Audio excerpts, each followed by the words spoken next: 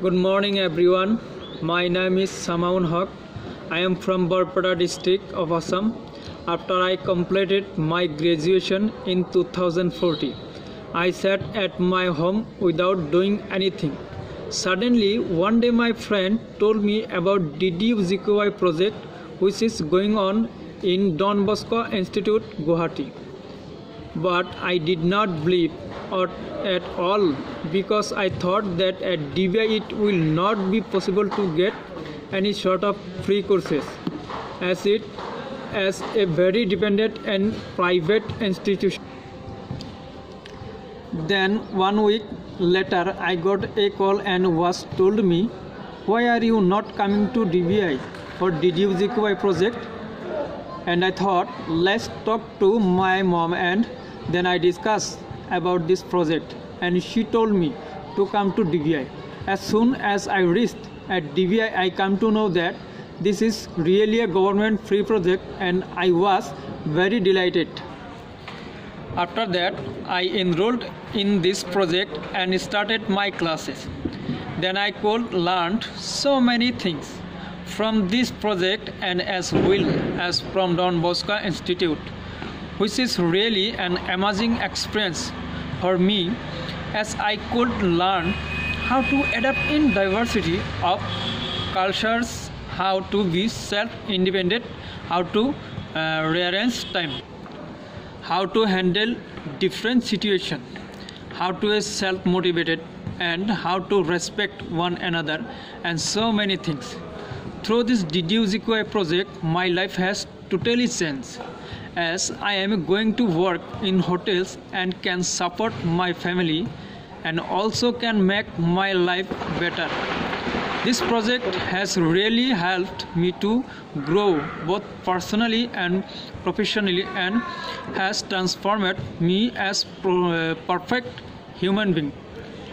And I would like to express my gratitude to River Father P.D. John, the Executive Director of Don Bosco Institute and Don Bosco Institute of Management. Father Pojit Marak, Associate Director, Father Paulus Gudia, Deputy Director, and all the system. And to our Sir Dibjoti Kaur, the head of the project, and to our trainers, Sir Supratim Bardoloy, Miss Cecilia Sangma, and Miss Pinky Sarkar, and also all the teaching and non-teaching staff of Don Bosco Institute and DDU ZQI project. पहले तो मुझे D D जी के बारे में कुछ पता नहीं था। मैं ग्रेजुएशन कंप्लीट करके घर पे बैठा हुआ था। तब मेरा एक दिन अचानक मेरे एक दोस्त ने फ़ोन किया कि डॉन बॉस्को इंस्टीट्यूट में डी डी जी को प्रोजेक्ट आया है। तुम करोगे क्या? तब मैंने उसके बाद ज़रा लाइटली नहीं लिया। कि डॉन बॉस्को इंस्टीट्यूट इतना बड़ा इंस्टीट्यूट है इंस्टीट्यूट है, उसमें ऐसे फ्री कुछ हो सकता है क्या? कभी नहीं हो सकता है। मैंने वैसे चुपचाप रहा, बस एक हफ़्ते बाद फिर से कॉल आया कि तुम डी नहीं आया। फिर मैंने माँ माँ से कहा कि ऐसे ऐसे बात है। डॉन बॉस्को इंस्टीट्यूट मुझे कॉल किया है। उसके बाद मैंने बोला कि अब मैं जाऊँ क्या हुआ? मुझे तो विश्वास नहीं हो रहा है। तब माँ ने कहा कि कोई बात नहीं, तुम जाके देख लो एक बार। उसके बाद तब माँ ने मुझे बोला कि तुम वहाँ जाओ।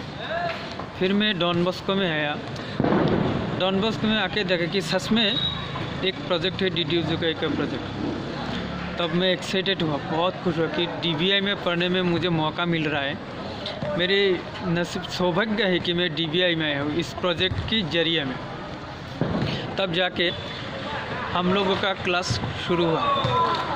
डी डी के अंडर प्रोजेक्ट से मैं लोगों से कैसे बातें करना, कैसे मोटिवेशन करना, लोगों के कैसे बिहेव करना, ये सब सीख गया।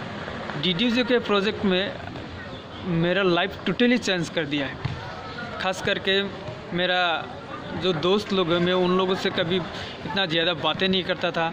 आज उन सबसे इतना खुल के बातें कर रहा हूँ, सबके साथ। और एक बात, मैं कभी सोच भी नहीं सकता था कि मैं कभी सारे गामा में पार्टिसिपेट करूँगा। वो पार्टिसिपेट में डीबीआई में डी के अंदर प्रोजेक्ट में ये सफलता मिला है मुझे कि मैं यहाँ पर डी में सारे गमा में पार्टिसिपेट किया। और नेक्स्ट में नेशनल डीडी दूरदर्शन में ड्रामा किया। ये सब डॉन बॉस्को इंस्टीट्यूट और डी डी का प्रोजेक्ट के अंदर में है। और मैं सबको थैंक यू सबसे पहले।